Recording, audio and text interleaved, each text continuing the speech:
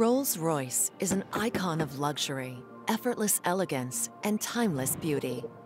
For over 100 years, Rolls-Royce has built aircraft engines, armored cars, and handcrafted luxury automobiles. With a precedent of the highest quality, building each car requires hundreds of hours of craftsmanship.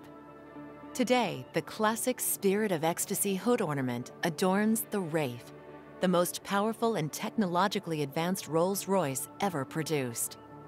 Power is supplied by a 6.6-liter twin turbocharged V12 engine, while the signature Magic Carpet Ride is maintained by an electronically controlled air suspension. The Wraith's innovation harkens back to the words of co-founder Sir Henry Royce, take the best that exists and make it better. When it does not exist, design it.